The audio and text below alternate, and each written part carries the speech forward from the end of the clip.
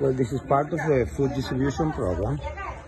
Uh, This is the CLAP program, the community. yeah, so during Christmas we eat pork, we don't eat turkey.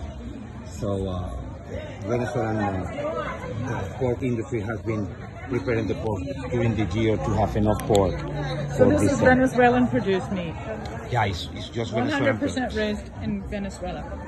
So they have been uh, storage this pork since since March or April to have enough uh, pork for the community, for the whole country during December. So in each block there is a there is a some person in charge of this block. So these people bring their own neighbors and pick up the food. So this is the same program as the monthly food. Yeah, it, yeah, it's the same the same food distribution, program. but uh, this in this case is just for pork. I love that it's 100% Venezuela raised. So what what is she doing?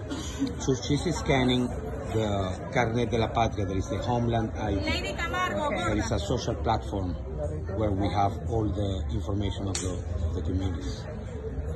So they identify you, so you got this subsidy. Okay, and this is also how.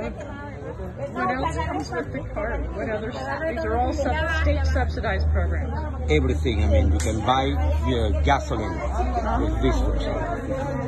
Uh-huh. And it has a QR code in the back. And that's what she's scanning on her phone. She's scanning the And where does the technology come from to do this? Well, uh, the government of China helped us to develop